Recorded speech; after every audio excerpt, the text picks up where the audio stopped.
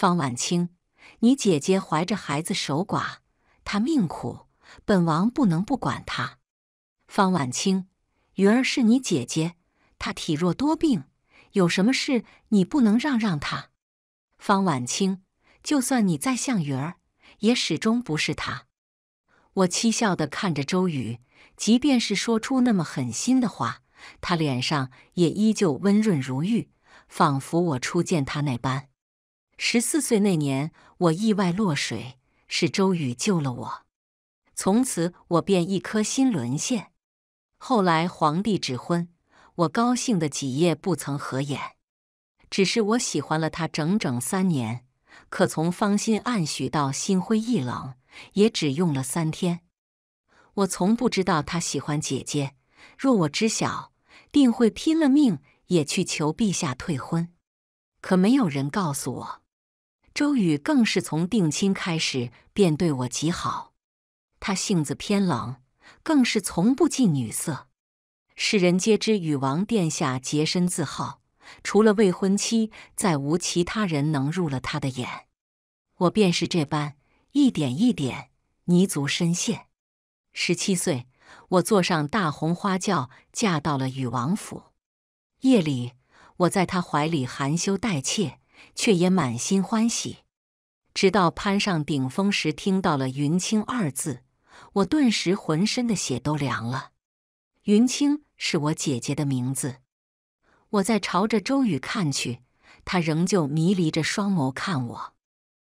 口中却一遍遍呢喃着“云清”，他喝了很多酒，怕是这会已经分不清眼前人到底是谁。从前我只以为他对我有情，如今再看，他却是透过我看别人。再回想从前，我落水那日，正是长姐被指婚给五皇子。那日我们全家都在宫里参加晚宴，我淘气出来瞎逛。却意外落水。周宇那时不在殿中，想来也是不想看到方云清被指婚的场景吧。我以为周宇是喜欢我，再不济也是为了顾全我的名声才去求婚纸。可如今看来，这一切不过是因为方云清。三日回门那日，我家中无人，所以我也没能回门去，因为爹娘说出城办事。很重要，我不知道能有什么事比女儿回门重要。如果有，那只能是方云清。果然，一个月后，家中来信说他们回来了，让我们也回去。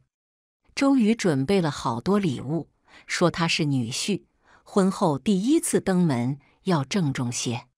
可他怎会是为了我呢？果然，我看到了方云清。他一袭孝衣，楚楚可怜。当初他和五皇子成婚后，便回到封地居住。我知道一月前五皇子病故，正是我们大婚之后。五皇子母亲身份低微，连带着五皇子也不得宠。人去了，皇家没什么反应，仿佛这个人从未存在过一样。原来爹娘没管我的新婚回门。而是出城去接方云清，可我明明记得皇家王妃是要守丧的。我不知道爹娘用了什么办法，竟然能让方云清安然回来，但这其中一定有周宇斡旋。我尚在新婚，其实本该是高兴的事，可现在因为方云清心寡而愁云惨雾。父母本就偏心姐姐。这会更是顾不上我。我又看向周宇，他一贯冷静的脸上多了许多情绪，我看得出来，那是心疼。他一双眼睛毫不顾忌的落在方云清身上，父母也忙前忙后的照顾着他。哎，我起身出门，想着逝者为大，毕竟方云清心寡，这时候总不好全家乐呵。我如此安慰自己，其实我早已经习惯被人冷落。听说我出生那日，父兄被山贼劫持，父亲重伤，七岁的大哥殒命。从此我便背负了灾星的骂名，就连母亲都不肯多看我一眼。我是被祖母养大，可十二岁那年祖母病故，从此便留我一个人孤苦伶仃。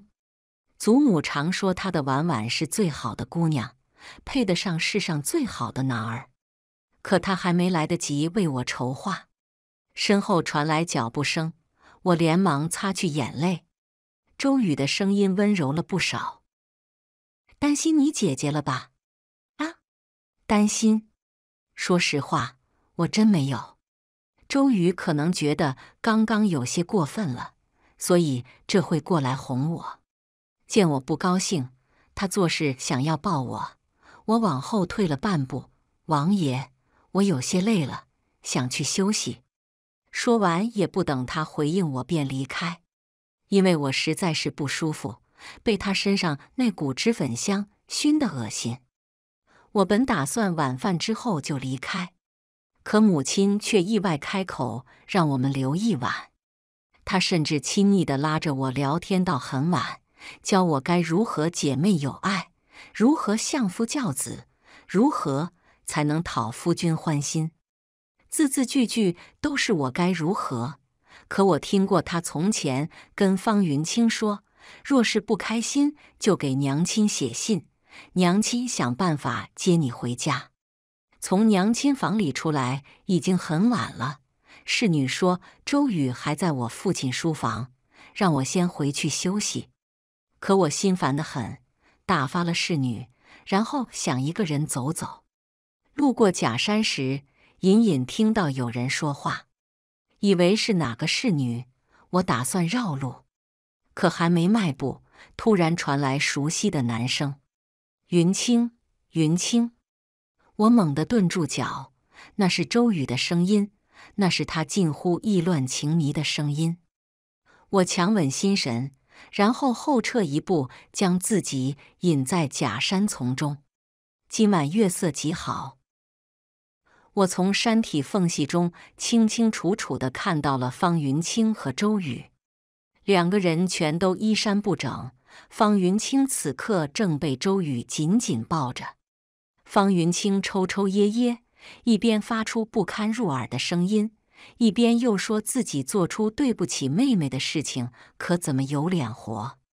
周宇咬着牙说：“这都是对他的惩罚。”谁让他总是轻而易举就扰乱他的心？原来他真的不曾爱过我。可既然如此，又为什么要娶我呢？我其实可以退出的。我从不想介入他们，从不。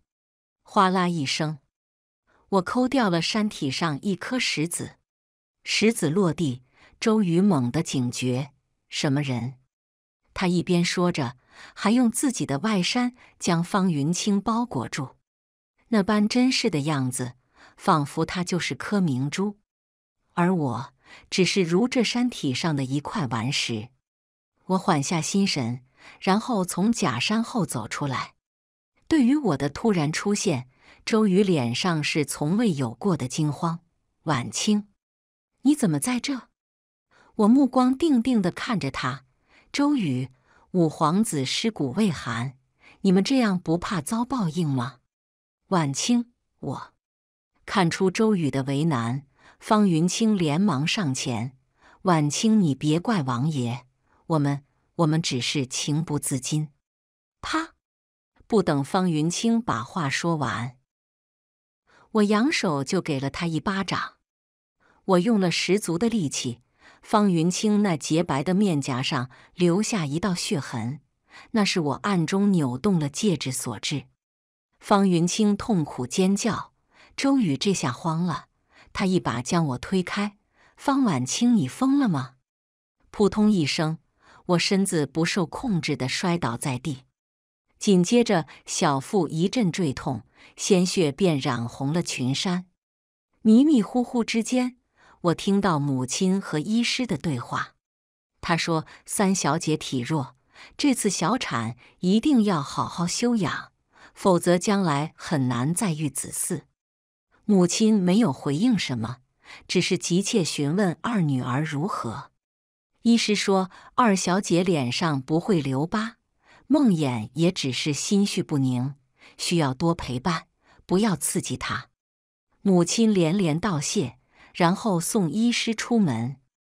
他走到门外时，我还听到他嘱咐侍女说：“不要让王爷知道我这边的事情，只需要他好好陪着二小姐便是。”感觉到屋子里没了人，我才缓缓起身，浑身疼，从心到身，简直疼死我。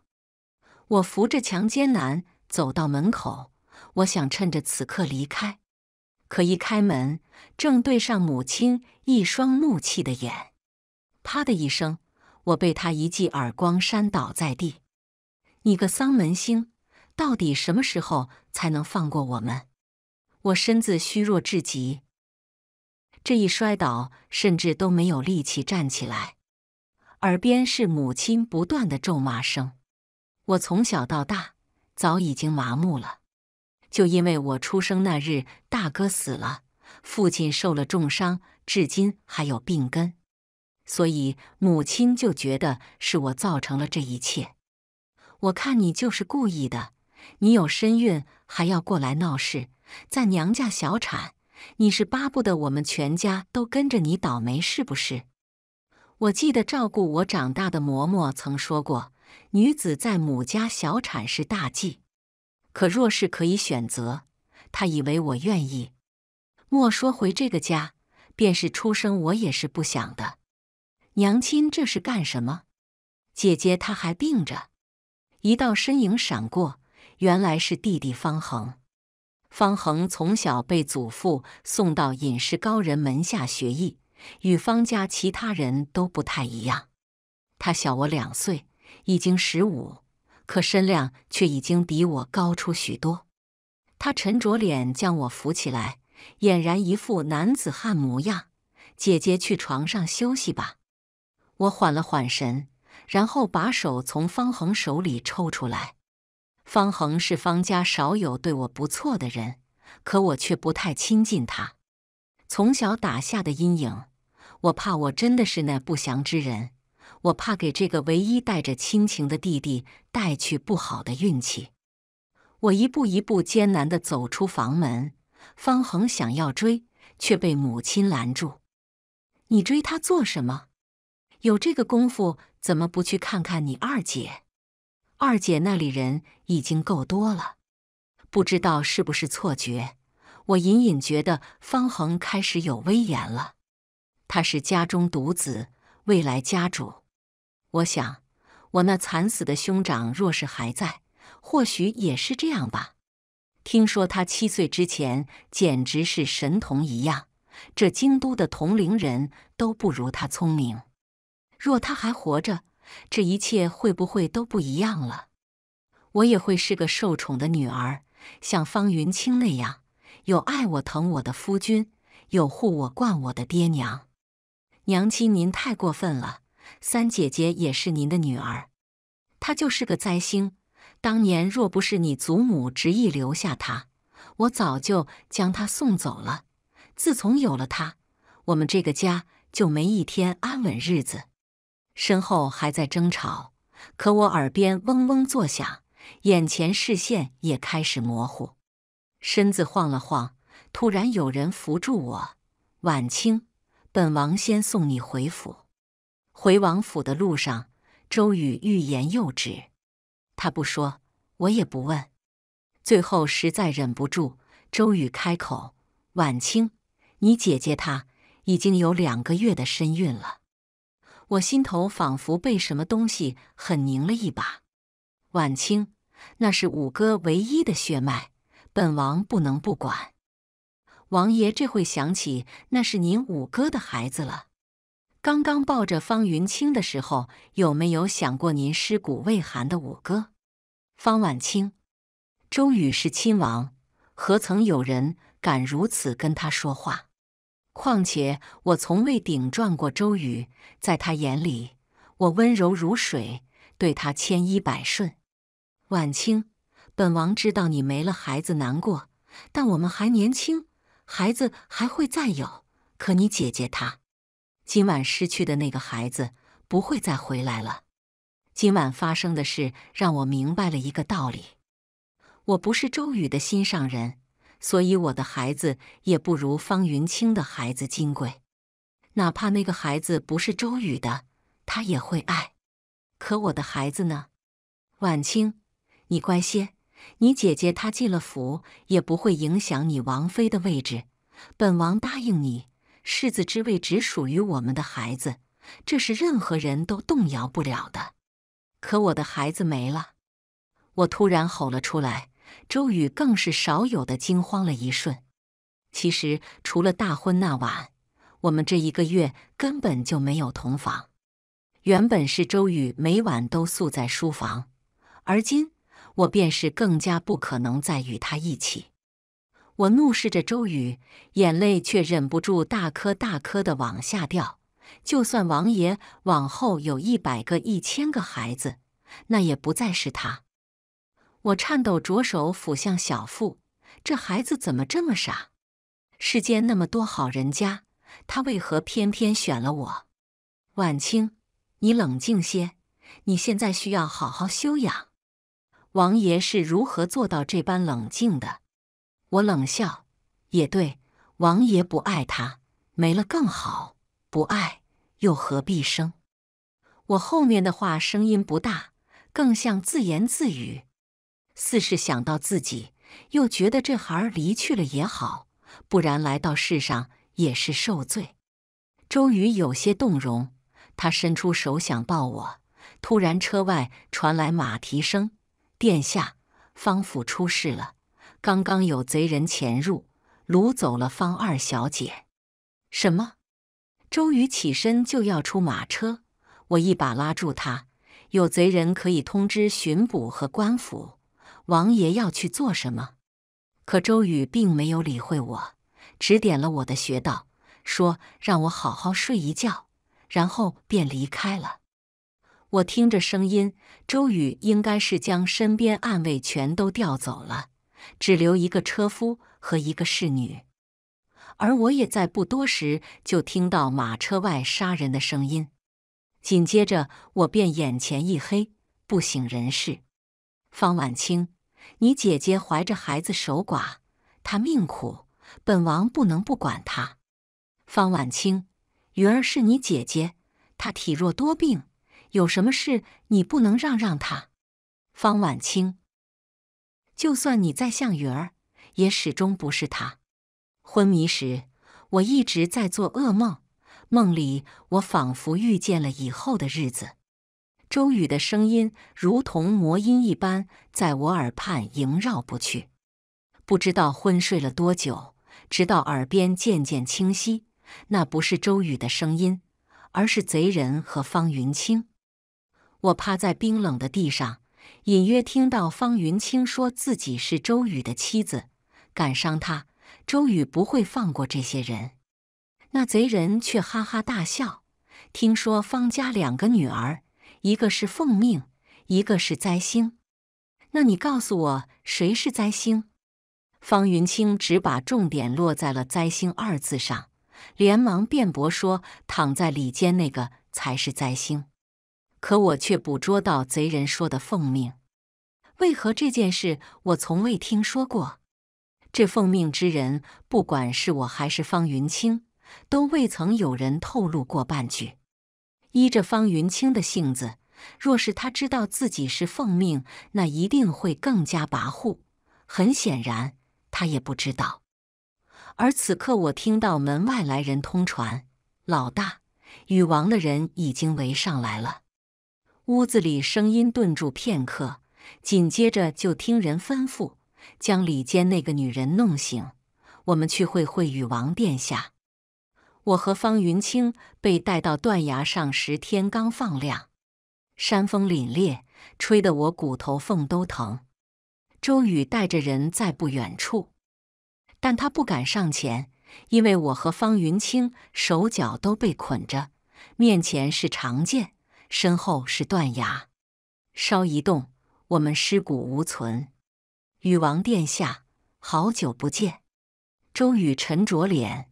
周恒的人，周恒就是五皇子。听到周恒的名字，那贼人突然一身戾气，呸！狗东西，你不配提殿下的名字！那贼人情绪十分激动，殿下他一直低调求安稳，没想到最后竟是栽到你们这对狗男女身上。说着，他手中长剑就要用力，我离得近，看到方云清脖颈已经开始流血，他吓得泣不成声：“王爷，王爷救我！禹王殿下，今日我就给你一个机会，两个只能活一个，您是选这个不知廉耻的寡妇，还是选您明媒正娶的妻子？”我看到周宇第一眼看向我，可他还没来得及说话。身后赶来方府的马车，方恒带着爹娘过来。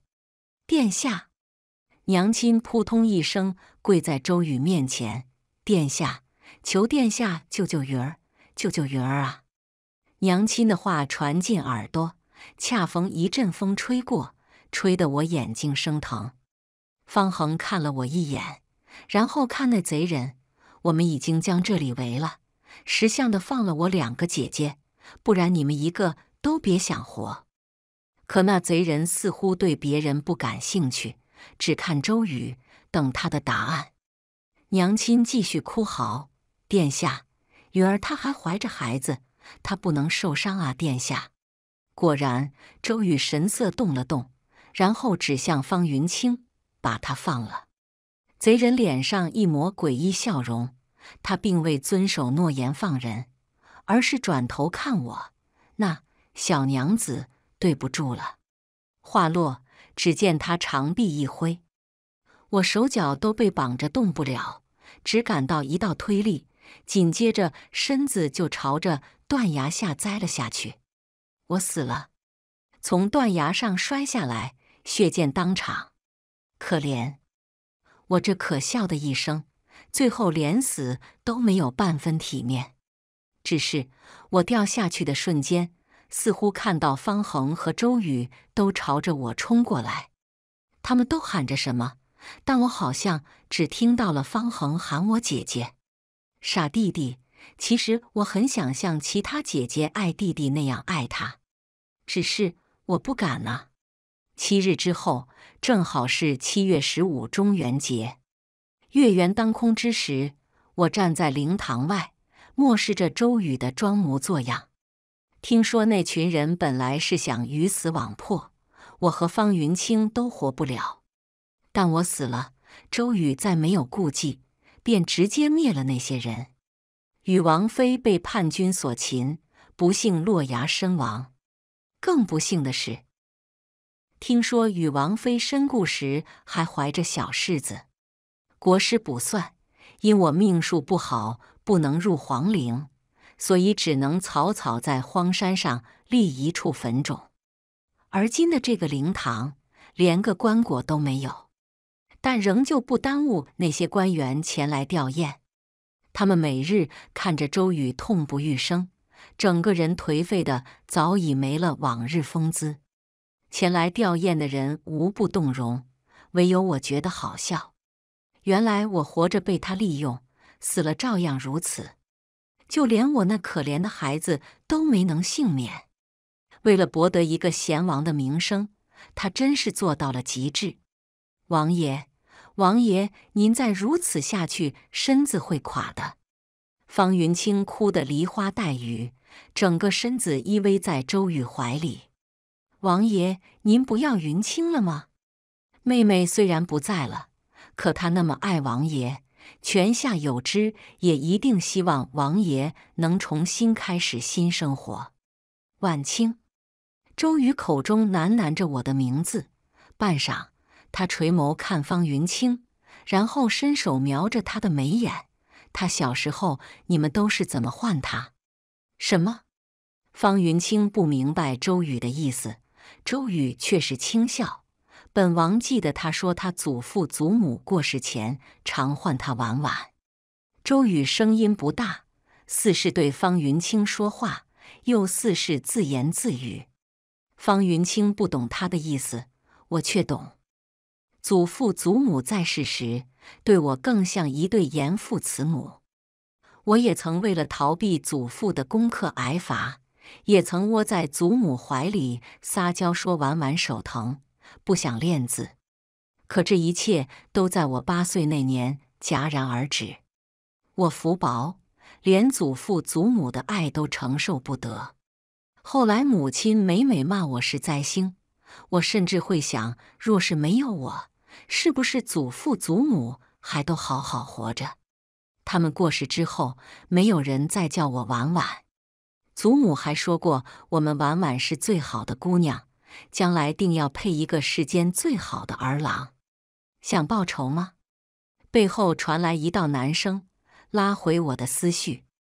我转头，你怎么来了？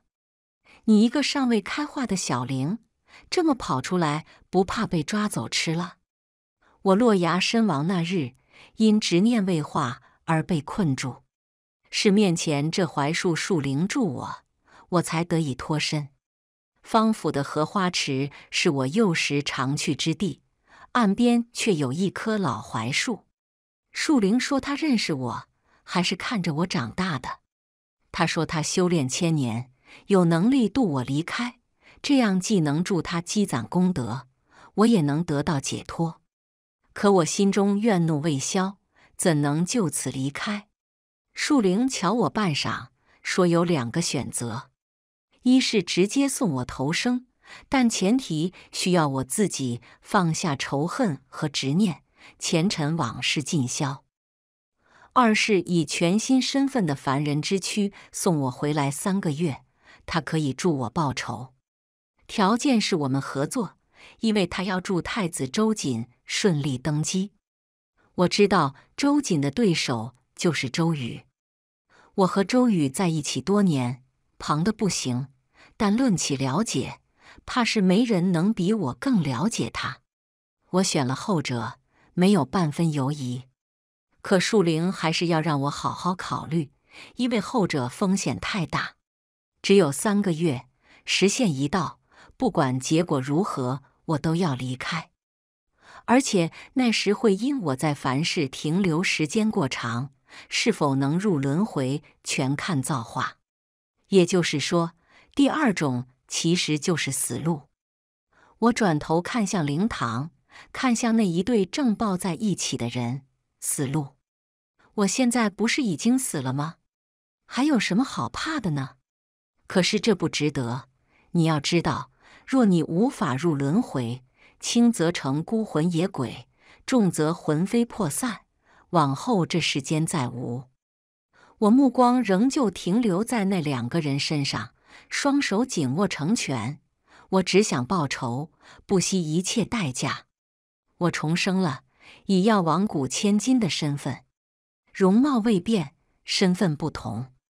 药王谷谷主便是树灵所化，他常年治病救人助修行，所以药王谷名声在外。此番我们是被请进皇宫，给重伤的太子看病。听说太子周瑾出行遭到刺杀，危在旦夕。罗怀更是告诉我，太子受伤和我被害是同一天。周瑜已经搜集了证据，禀明刺杀太子之人与害我的是同一批人。我冷笑，根本不是什么五皇子，肯定都是周瑜的人。他刺杀太子殿下。事情败露，便嫁祸给死人罢了。说着话，我们已经来到宫门口，刚和迎接的内侍打了招呼，迎面就遇到周瑜和方云清。内侍给周瑜介绍，这二位便是请来给太子殿下疗伤的医师，药王谷谷主罗怀和大小姐罗婉。周瑜瘦了些，面容也有些苍白。他身边的方云清。一身素白，大风吹起一角裙摆，里面竟然是粉红色裙衫。很显然，他对我这个妹妹的离世并未有多少伤心。见礼之后，我们打算随着内侍继续走，结果与周宇擦肩而过时，他突然开口：“等等。”周宇的目光落在我脸上，我戴着面纱，微低着头，不看他。也不说话，罗怀上前一步，挡在我身前。禹王殿下，小女是第一次进宫，有些怕生。然而周瑜却略带颤音地问了一句：“是晚清？”我藏在袖中的双手越握越紧，但脸上却一派淡然。殿下认错人了，民女姓罗，单名一个晚字。不对，你是晚清，你是。见状，方云清连忙上前拉住周宇：“王爷冷静一些，这是药王谷的大小街，不是晚清。晚清已经死了，你住口！”周宇红着眼睛推开方云清，再咒一句：“晚清，本王让你先死！”我抬眸看到宫门口的一些路过官员，心中不免冷笑。原来周宇这做戏的功夫如此精湛。果然，听到周宇的话，那些人脸上也都带着哀伤神色。我想，这周宇的好名声又会加成不少。最后还是内侍解围，与我解释说，与王妃刚过世，与王殿下相思成疾，希望我能海涵。我点点头，与王殿下和王妃琴瑟和鸣，民女在民间也有所耳闻。周宇一双眼睛死死盯着我，我朝他微微一笑，眼角含情。那日之后，我和罗怀便暂住东宫。旁人以为是太子重伤难愈，不然也不会把江湖赫赫有名的药王谷谷主都请来。但若不是亲眼所见，我也不会相信，短短三日，周瑾便已经恢复了六七成。毕竟初见周瑾那日，他还昏迷着，所有御医都束手无策。可经过罗怀诊治，现在的他只需要调理静养就好。但因周瑾身份特殊，他伤好之事并没有外传，只是说暂时无性命之忧，但仍旧谢绝一切探访。为避免节外生枝，东宫的侍女都不能靠近，所以这照顾周瑾的任务就交给了我。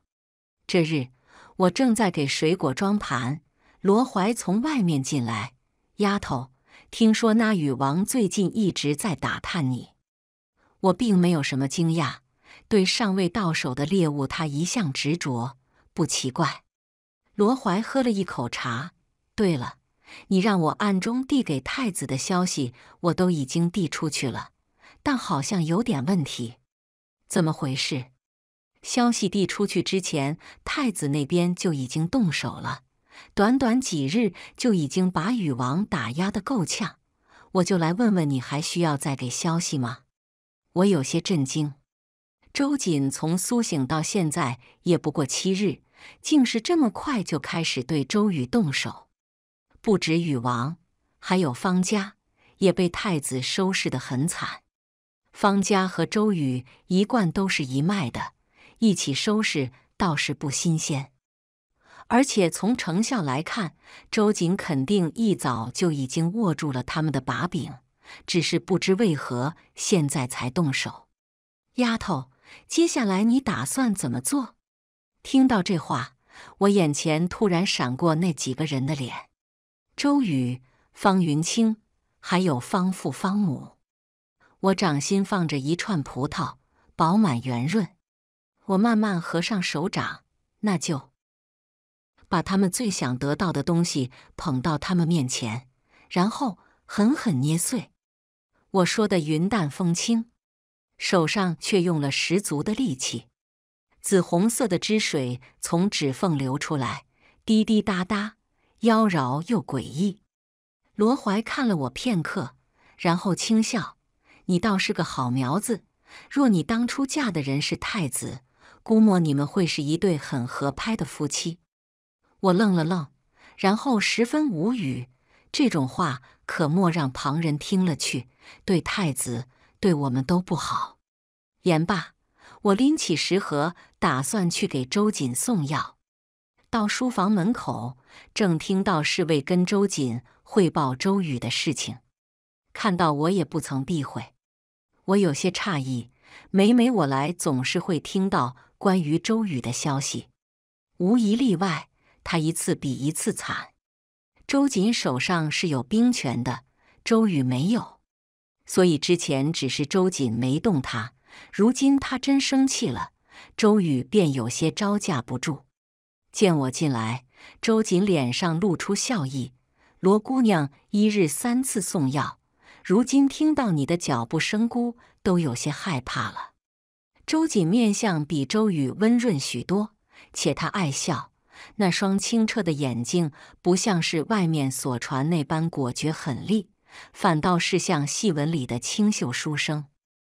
我将药碗放到案几上，看到堆积如山的公文，不禁轻叹：殿下虽已经大好。但身子还得好好调理才是。说来也怪，我和周瑾虽都在京都，但却从未正式见过。幼时我随祖父进宫，那时只是遥遥一望；再往后，我便极少入宫。偶有机会入宫，也基本遇不到他。就连我和周宇大婚，他也没来。听说是临时决定去治理水患。谁知离开一个月就受了重伤，但不得不说，皇帝眼光极好。周瑾能力出众，是众皇子里最出色的一个，且母后是皇帝青梅竹马的原配皇后，身份十分高贵。只不过周瑾有一点不好，就是心肠太软。哪怕他知道周宇一直野心勃勃，也只是暗中牵制。却从未下过狠手，想来是这次周瑾去江南，周宇暗中笼络了不少官员，这才惹到了周瑾。从书房回到住处，罗怀带给我一个消息，说周宇开始反击。他这么多年手中势力也不容小觑，此番若是反击成功，怕是对周瑾也会不利。如此看来。我们必须要抢先把周瑜扳倒才行。罗怀点头，他手中有一份谍者名册，还有一块暗卫腰牌。若是能拿到，我们事半功倍。我脑海中突然闪过周瑜书房的暗格，然后我看罗怀，想办法让我进禹王府，剩下的交给我来办。这好办，下点药就成了。罗怀速度很快。第二日，周瑜就暴病，没有早朝。紧接着，罗怀就收到皇帝旨意，说禹王重病，请我们过去瞧瞧。因为宫中还有太子要照顾，所以罗怀开了药方之后就回宫了。这里只留下我照顾周瑜。虽然平时都有侍女照应，但我每每过来送药，都能感受到周瑜的目光。那是对猎物的志在必得，我太熟悉了。我如今已经不戴面纱，众人也都习惯了，我只是与故去的方婉清相似而已。这几日劳烦罗姑娘了，我面色羞怯。殿下若是不嫌弃，换我婉婉便好。婉婉，我注意到周瑜脸色微变，但很快便调整好。他点头，好。婉婉，周宇伸手握上我的手腕，拇指指腹在腕间轻轻摩挲，看起来只是撩拨，可我知道他是在试探。当年我落水，左手手腕落下一道疤痕，可他不知道我这副身躯是罗怀重塑的，哪里还有疤痕？也不知道是不是错觉，在确定我手腕没有那道疤痕时。我似乎看到周瑜脸上的失落。我在禹王府住了几日，周瑜对我千依百顺。从前只有我能进的书房，如今也只有我能进。我终于寻到机会拿到了名册，只剩周瑜腰间的令牌还没有得手。晚上，我一个人在荷花池边吹风，周瑜从身后拥住我，婉婉。别再折磨本王了，本王给你王妃名分，就从了本王吧。他低头吻我，我偏头躲开，强压住心头恶心，转身双手环住他的腰。可方姑娘怎么办？她的身份做个侧妃已经抬举了。经过几日相处，我才发现，原来周宇对方云清也只是利用。想来是得知方家的女儿有一个是奉命，我死了，那便只剩下方云清了。再加上方云清性格跋扈聒噪，周宇是真的感到厌烦。周宇还想吻我。我双手抚在他腰间，一边玩闹着躲开他的吻，一边在他腰间摸索。就在我手刚触到令牌时，突然看到方云清从远处过来，他一脸凶神恶煞：“贱人，勾引男人勾到我头上来了，你好不要脸！”方云清冲上来就要打我，却直接被周宇制住：“胡闹什么？”我满脸楚楚可怜。云清姐姐，这是做什么？我和殿下也只是情不自禁啊。当初他的话，我都还给他。贱人，我撕烂你的脸！王爷救我！自打重新接近周瑜，我一直都是唤他殿下，如今再喊王爷，周瑜神色一下子就变了。他一把将我揽进怀里，婉婉别怕。我不会再让他欺负你。在，果然是贱人。我活着的时候被他戏耍，这会死了他倒是深情上了。不过我现在没工夫想太多。我趁着周宇抱着我，便速度极快的用一块相似令牌换下他腰间的令牌。眼见周宇护着我，方云清便像疯了一样扑上来。周宇紧紧将我护在怀里，直接一脚将方云清踢飞。我听到方云清一声惨叫，紧接着人就掉进了荷花池。周宇似是也没想到，又连忙叫人去捞人。他虽对方云清已经逆反，但还要仗着方家的势力，还有方云清那被传为奉命的命格，周宇还是有些担心。也想往荷花池附近去，却被管家拦住。王爷晕水，这边老奴来处理。说着，管家又看我：“姑娘，快扶着王爷离这里吧，离着水近了，王爷会不舒服。”晕水，我心头猛地一颤。当年我落水，可是他救了我，他怎会晕水？我回想当年。落水之后，我以为自己要死了。思绪混沌之时，看到是一个身着黑色锦袍的人救了我。再醒来时，我看到浑身湿透的周宇，正是一身黑衣。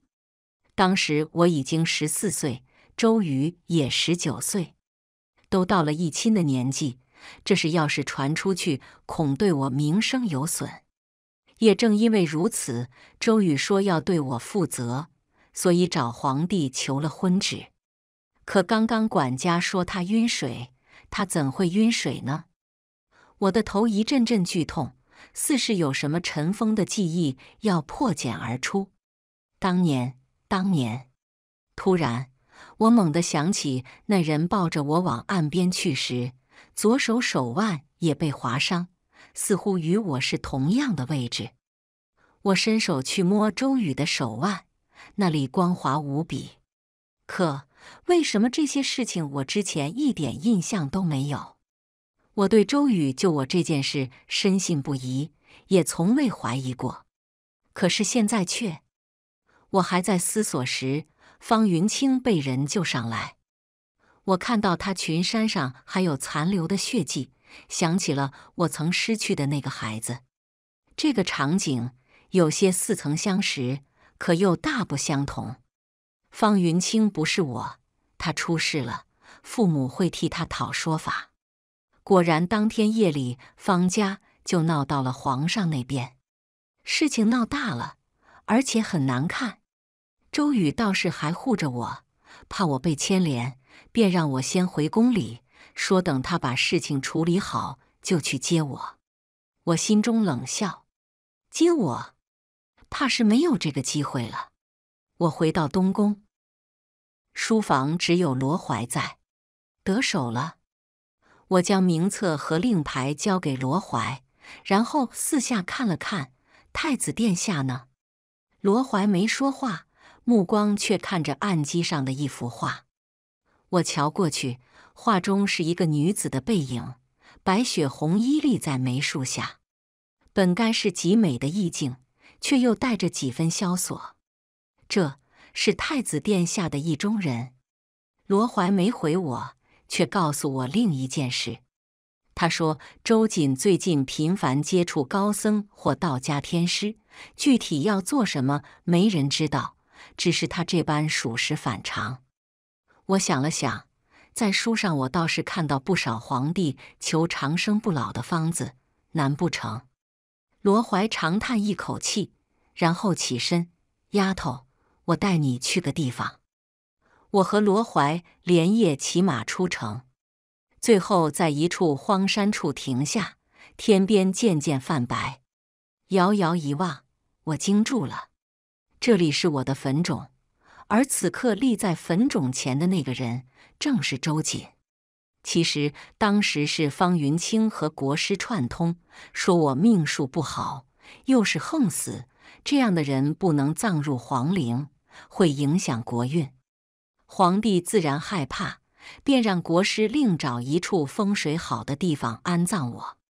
国师和方云清是一丘之貉，自然不会帮我找真正的风水宝地。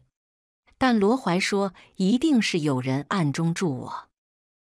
这里虽然表面看是荒凉之地，但风水却真的好。等我实现到了，就从这里离开，肯定会很顺利。听着罗怀的话，我看着周瑾的背影，心里仿佛被什么东西狠狠抓着。我一步一步走向周瑾，似是早就知道我会来。他并未回头，只淡淡开口：“你遇害当日，我也被刺杀。这处地方是方恒寻的。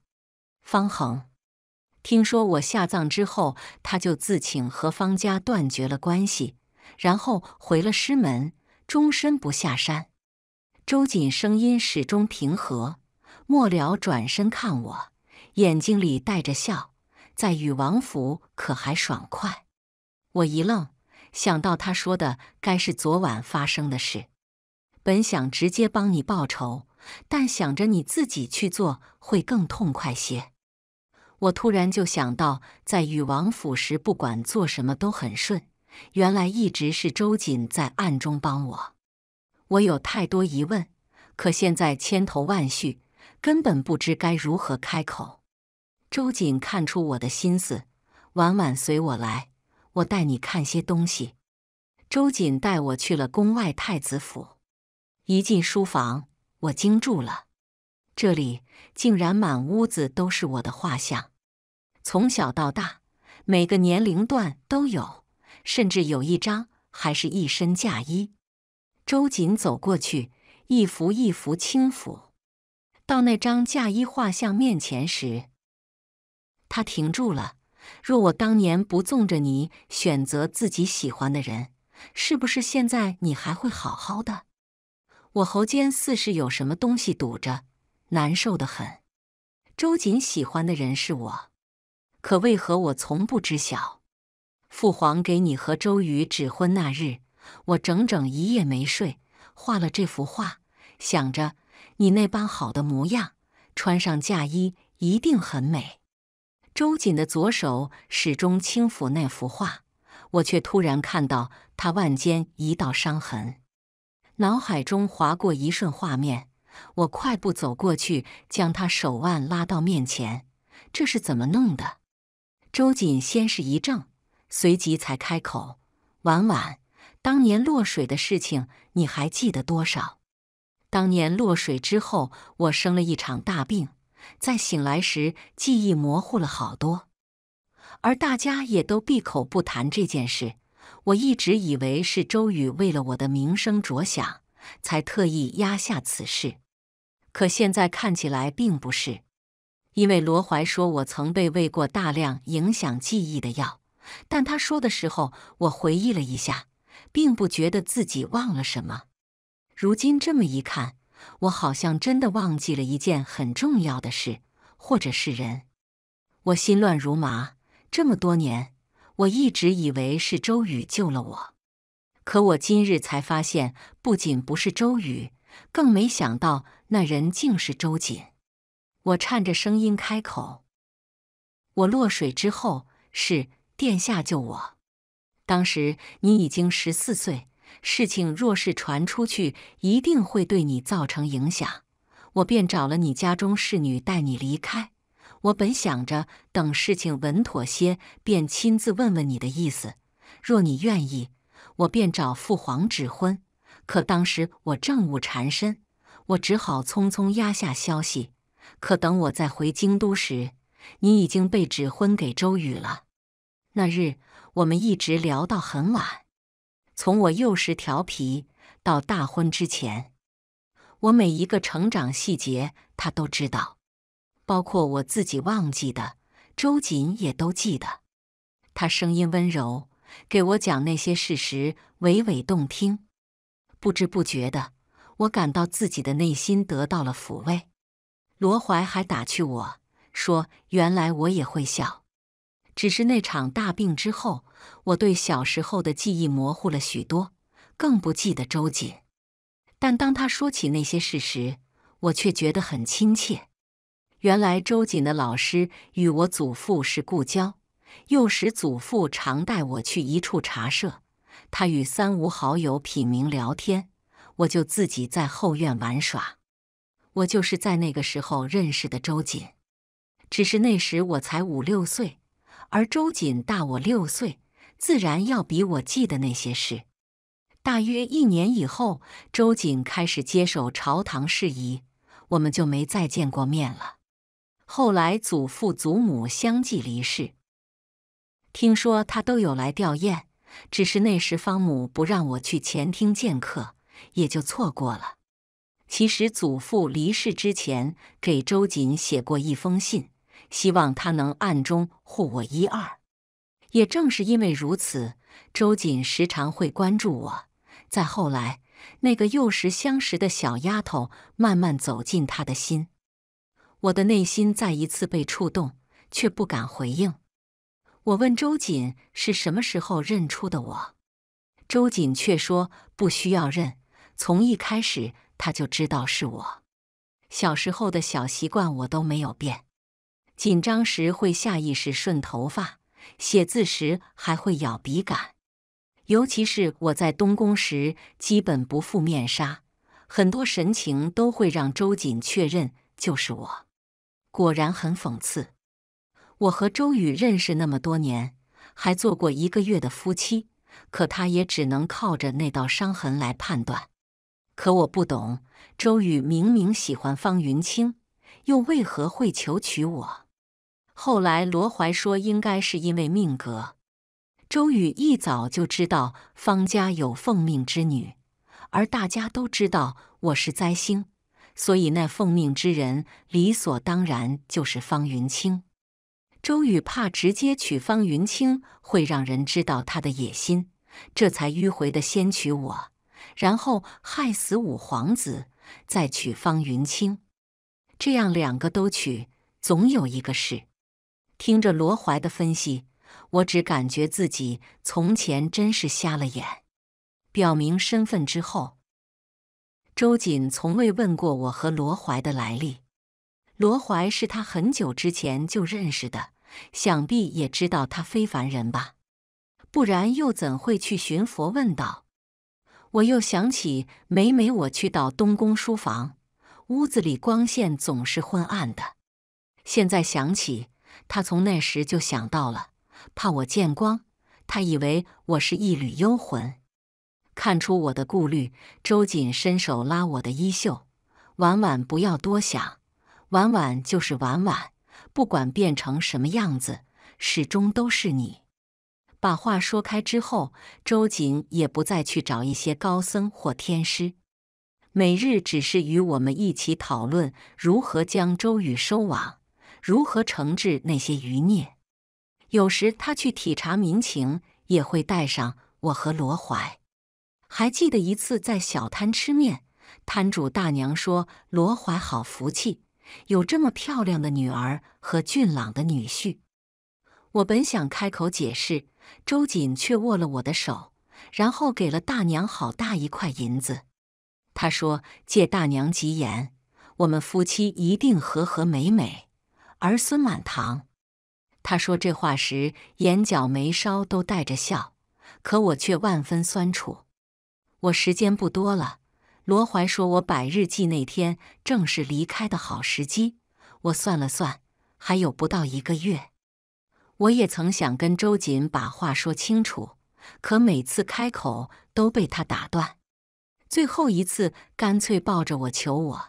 他说：“求我别那么狠心，别打碎他的梦。”我从未有哪一次想那么掐死周宇，也从未有过的后悔。我甚至后悔回来报仇，不如就那么离开，也好过让自己和周瑾。这般得到又失去，我更加痛恨周宇。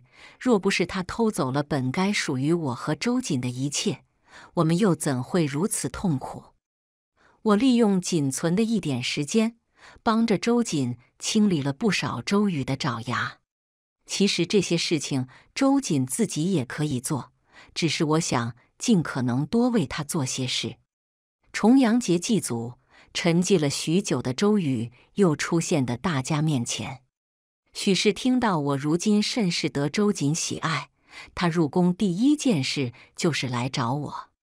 他现在已经瘦得不成人样，不只是因为周瑾打击他的缘故，还有就是我当初在王府时，每日给他的药里我都加了些东西，不会致死，只会一点一点抽干他的身子。甚至罗怀还说这药会致幻，所以听说现在他经常抱着方云清喊婉婉，真的是风水轮流转。婉婉，我想单独跟你说几句话。周宇一双眼睛盯着我，周瑾将我护在身后，一如当年周宇护方云清那般。看着眼前情景，我更痛恨周宇。若不是他。我应该跟周瑾会很幸福吧？眼看着我和周瑾这般，周宇猩红着双眼看我，婉婉，你说过会等我来接你的。我面色淡然，禹王殿下真会开玩笑，那会是您自己说的，我可没说要等您。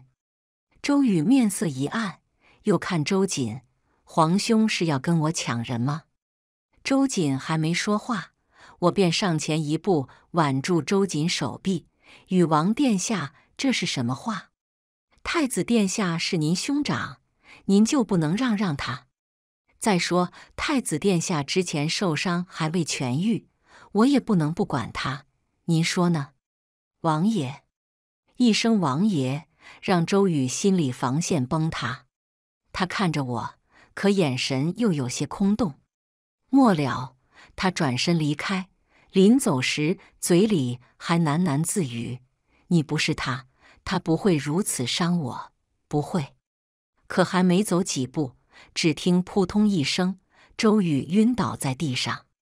离我百日祭还有十日，罗怀特意嘱咐过，说这段日子是我最虚弱的时候，一定不能出任何差错，不然伤到我就危险了。周瑾更是小心谨慎。生怕我出一点事，可即便如此，还是出事了。皇帝寿辰，周瑜联系外敌，发动宫变。周瑾担心我，便让罗怀带我先走。可我们还没跑多远，就被人围住。方云清更是朝着我们泼了满满一瓶符水。方晚清，我不管你用了什么妖法重归人世。今日我都让你魂飞魄散！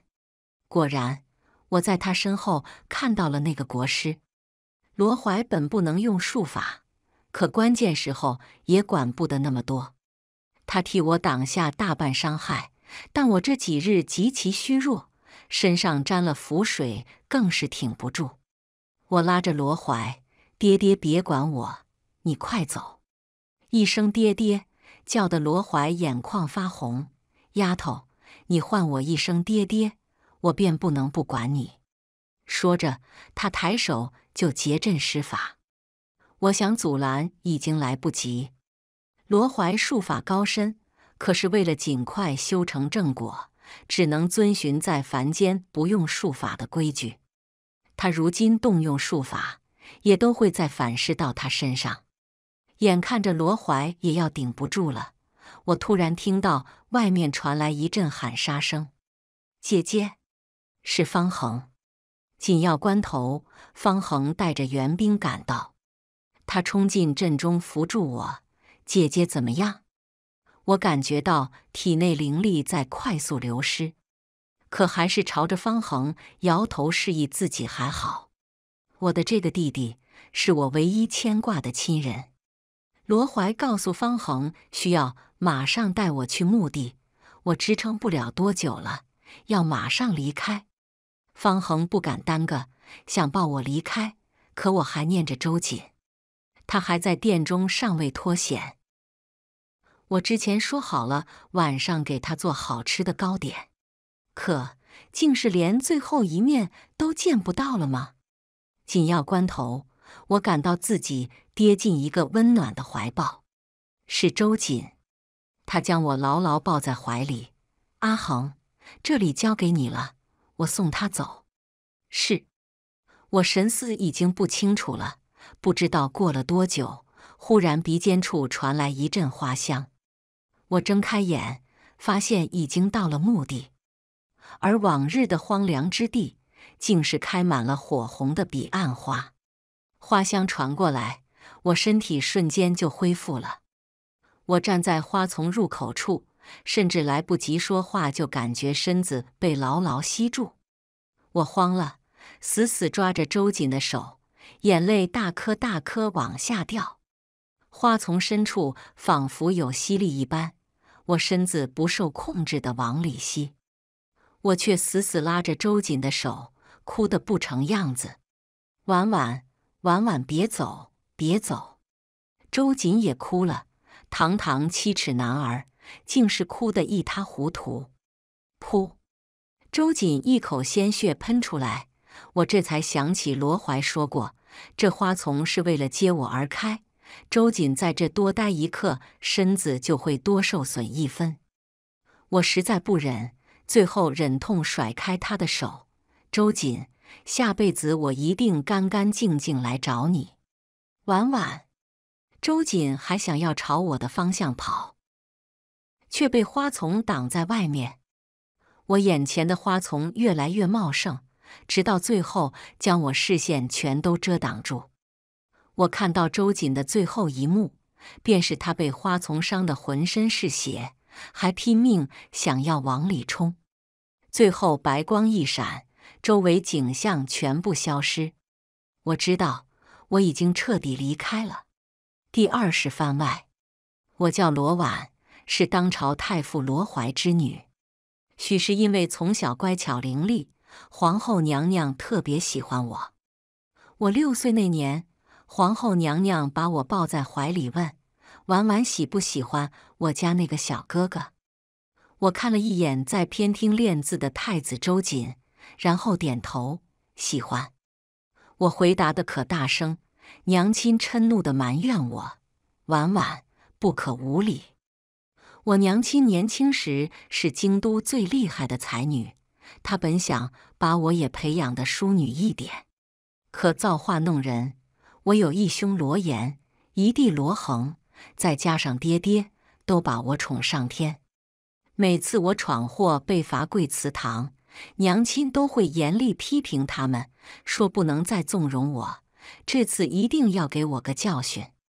可每次看到我红红的膝盖，他又会训斥他们：“你们怎么回事？都不知道心疼婉婉的。”娘亲一边训斥，一边给我涂药。可我一共也没跪上一炷香的时间，倒是把他心疼的掉眼泪。就这样，我无拘无束，一直到十五岁。吉礼那日，陛下和皇后亲临，什么意思？大家心知肚明。可吉礼结束，并没有直接指婚，而是皇帝带着太子亲自来下聘。皇家拿出十足的诚意，说若婉婉不愿，便不为难。可我哪里不愿？趁着皇帝跟我爹说话的功夫，我把周瑾偷偷叫出去。我给他左手手腕系了一根红绳，然后扬了扬自己左手同样的红绳，说：“这样便算是定情了。我们前世今生和来世都要在一起。”周瑾脸有些红。我俩在一起，一直都是我更外向些。可周瑾虽然内向不善表达，我却能感受到他对我的喜欢。听了我的话，周瑾将我轻轻揽进怀里。婉婉，你放心，我此生唯你一人。婚期定在一年后。我十六岁生辰这日，突然做了一个很可怕的梦。梦里周瑾做了皇帝，他不是我印象里的谦谦君子，而是变得狠厉可怕。我看到他与他六弟周瑜反目成仇，最后更是将人监禁。而周瑜则是日日抱着一个女子喊婉婉，那女子蓬头垢面，看不清容貌。我被噩梦吓醒，天刚亮就跑到东宫去找周瑾，结果在东宫门口见到他和周瑜下朝回来，我也不顾还有周宇在场，直接就冲到周瑾怀里。周瑾先是愣住，然后低头哄我：“这是怎么了？”我缓了半晌，然后弱弱开口：“做了个噩梦，吓死了。”说着话，我还抬眸看了周宇一眼。听说他和方家大小姐定亲了，可他好像并不喜欢方家大小姐。前几日还听说闹着要退婚来着。周瑾揉了揉我的头发，然后转头看周宇：“抱歉，六弟，今日就不跟你下棋了。”我带婉婉出去散散心。我和周瑾大婚当日，周宇和方家闹出了丑闻。听说周宇知道方家大小姐人品不好，便要退婚。可谁知方家直接灌醉了周瑜，让两个人生米煮成熟饭。太子大婚当日闹出正等丑事，皇帝气得不行，直接把周瑜和方家全都卸了实权。周瑜本就不得皇帝喜爱，这样就更惨了。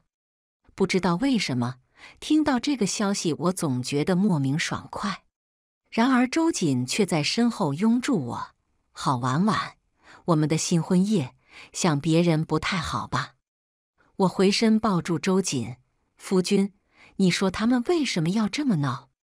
没得到好处不说，这样岂不是一辈子都翻不了身了？”周瑾抱起我往洗床方向走，不知许是他们上辈子就没做好事吧，所以这辈子也没什么好报。我被周瑾放在床上，他珍宝一般的亲吻我，可我心中还在想着周宇和方家的事。夫君说的对，所以我们要多做好事，这样下辈子还会这么幸福。娘子，别想了。你夫君要坏了，说着，纱帐落下，我在周瑾怀里幸福拥了满怀。